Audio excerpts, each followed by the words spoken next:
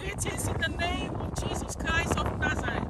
I bring you 2 Corinthians 5:17. Therefore, if any man be in Christ, he is a new creature. All things are passed away. Behold, all things have become new. You are a new person where you are in Christ. Claiming to be a Christian does not mean you are in Christ. Being in the church for a long time does not mean you are in Christ. Beloved, we all have to strive to be in Christ. Because when we are in Christ, then we are a new creature. All things are done with. You have now the nature of Christ. I pronounce this benediction upon you. May the Lord bless and keep you. May the Lord cause his face to shine upon you and make you a new person. If you like this video, like, share, and subscribe. I love you.